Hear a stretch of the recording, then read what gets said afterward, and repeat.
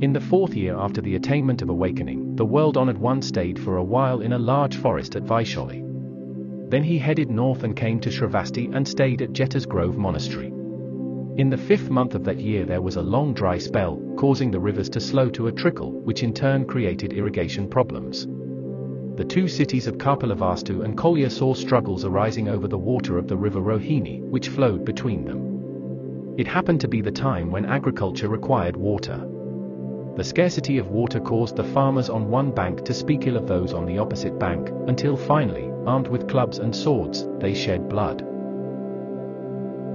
The world-honored one heard of this strife at the Jeta's Grove Monastery and hurried back to Kapilavastu in time to position himself between the two opposing armies.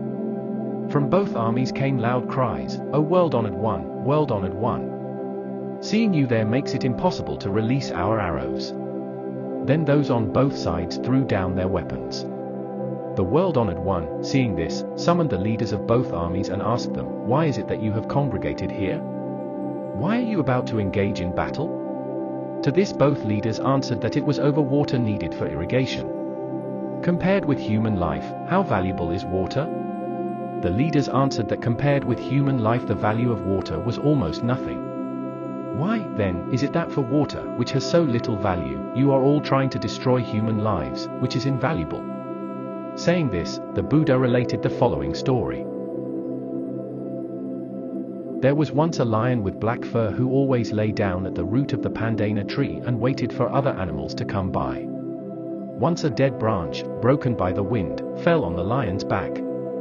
Suddenly frightened, the lion ran away but as he looked behind, he could see that there was no one chasing after him. The lion then reasoned that the spirit of the tree hated him and was trying to keep him away from under the tree.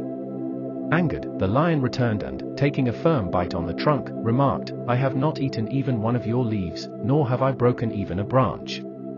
You allow other animals to rest under your branches, but do not allow me to do so.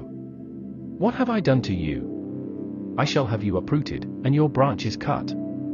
Saying these unkind words, the lion went to look for someone to do this. Just then a carpenter who made carts came looking for a tree. The lion showed him where the pandana tree was and tried to get the carpenter to cut the tree down. As the carpenter started to cut, the tree spirit, terrified, appeared and told the carpenter what to do, you seem to want to cut this tree and make a cart. If you were to place the hide from the black lion's neck on the wheels, they will be strengthened. You should kill the lion and take his hide. The carpenter gladly followed the advice and killed the black lion. He then cut down the tree and returned to the village. The Buddha said, as this story shows, it is common for beings to fight among themselves over trivial misunderstandings, hurting and even killing each other. He explained the meaning with the following verse. Thus Plasi tree contends with beast, and beast with tree contends. So each with mutual dispute to death the other sends. So among men, where a feud or quarrel doth arise, they, as the beast and tree did now, cut capers peacock wise. This tell I you, that well as you what time ye are at one. Be of one mind, and quarrel not, as beast and tree have done. Learn peace with all men, this the wise all praise, and who is fain. Of peace and righteousness, he sure will final peace attain. He continued with another story. Along the banks of the western sea there was a forest in which some horse chestnut trees grew. In that forest, in a hemp palm bush under a horse chestnut tree, there lived a rabbit. Suddenly the rabbit wondered what could be done if the world were to end abruptly. At that very moment, a horse chestnut fell on the leaves of the hemp palm bush and made a sharp sound. The rabbit was frightened, thinking that now the world was falling apart. Without looking back, he ran off. The other rabbits, seeing him speeding away, sensed that something unusual had happened, followed him, and asked what was going on. The first rabbit answered that the world had started to fall apart and kept on running. The second rabbit, now alarmed, also started speeding away after the first. Then the third and fourth rabbit started running, until thousands of rabbits were running away. In this the deer joined and were followed by the boars, the water buffaloes, and along with them the rhinoceroses, tigers, lions, and elephants, as well as all the other animals, until the line of frightened animals extended for miles and miles. At that time there was a lion observing what was going on. Learning that the animals were afraid that the earth was falling apart, he felt that such a thing could not really happen and that the first rabbit must have heard a sharp noise and mistaken it for the earth's falling apart. Now, this lion thought that if he were to leave things to their course all the animals would be doomed. So, the lion started running, past the leaders of the herd, and waited for the herd at the foot of the mountain.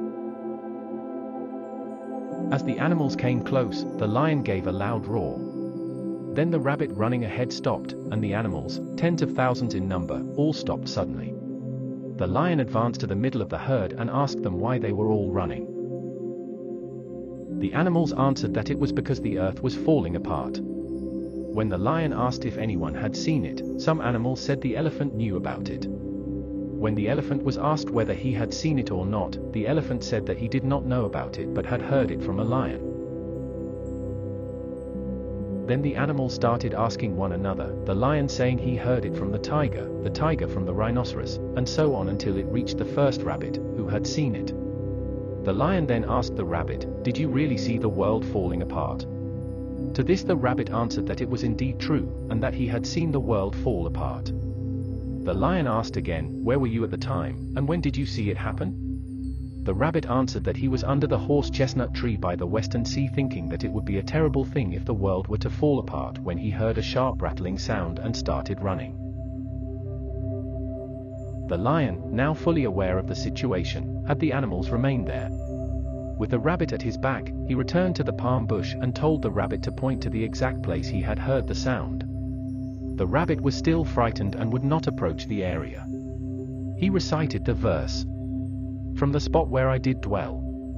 Issued forth a fearful thud. What it was I could not tell, nor what caused it understood. The lion made a careful study of the spot and, picking up the horse chestnut and confirming that there was nothing unusual, returned to the herd. Showing the animals the horse chestnut, he dispelled their fears. The Buddha continued, if the lion had not taught them, countless animals would have kept on running until they had driven themselves into the sea and drowned. O leaders, one must always have clear and sound understanding.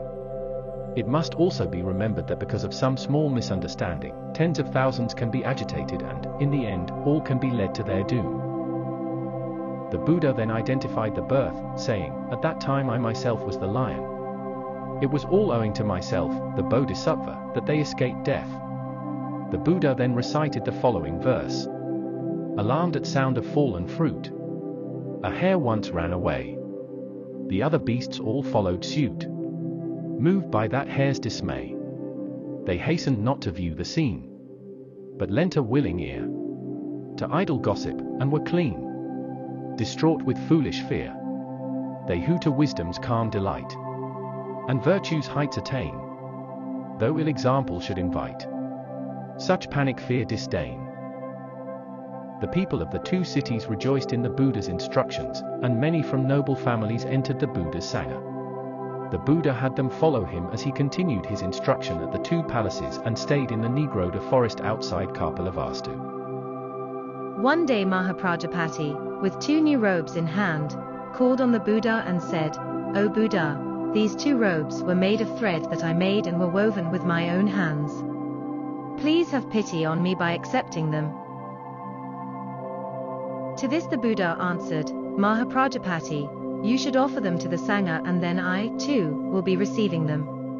Mahaprajapati asked the Buddha three times, and the Buddha gave her the same answer each time, telling her to make the gift to the Sangha. Ananda, standing beside them and hearing the dialogue, now came forward, saying, O world-honored one, Please accept the robes that Mahaprajapati offers, for she has served you well. She is your aunt and she nurtured you, when you were an infant. After the passing of Queen Maya, she offered you her breast. The world-honored one has also bestowed upon her great benefits.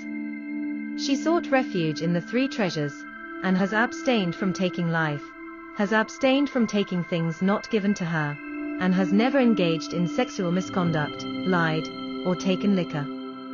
Following the five precepts, she has put her unfaltering trust in the three treasures, and has eradicated all doubts in the teaching of the Four Noble Truths. The Buddha has given her these great benefits. Please believe in the sincerity of her intentions. The Buddha accepted the charity of Mahaprajapati, as requested by Ananda, and he taught the virtues of the practice of charity.